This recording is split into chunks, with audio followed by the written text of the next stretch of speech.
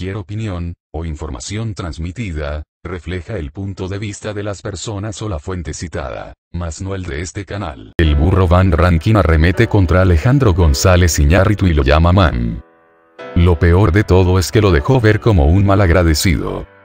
Hoy por hoy, Alejandro González Iñárritu, de 55 años, es uno de los directores y productores mexicanos más importantes no solo en nuestro país, sino a nivel mundial, ya que ha ganado cuatro Oscars y cuatro Globos de Oros, entre otros reconocimientos.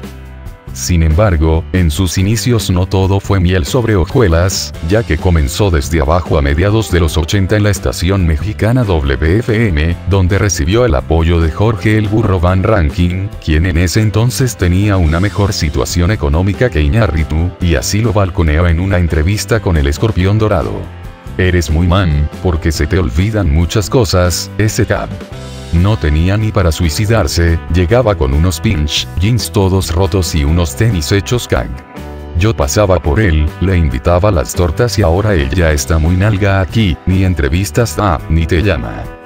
Además, agregó, le digo déjame pasar de extra en tus películas, mesereando y no ha querido, pero al negro sí de repente lo vemos volar, aunque se lo merece porque es muy creativo. Suscríbete y activa la campanita para más videos.